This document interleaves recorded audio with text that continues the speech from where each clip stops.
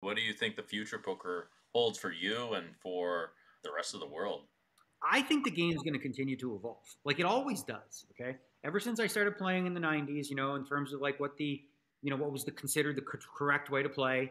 You know, that that was clearly not the most best the best way to play. And I think we're at a place now where a lot of people have rested on their laurels in the idea that like this is it. You know, this is the way the game's going to be played. But I think five to ten years from now, you're going to see a lot more dynamics in terms of different sizing.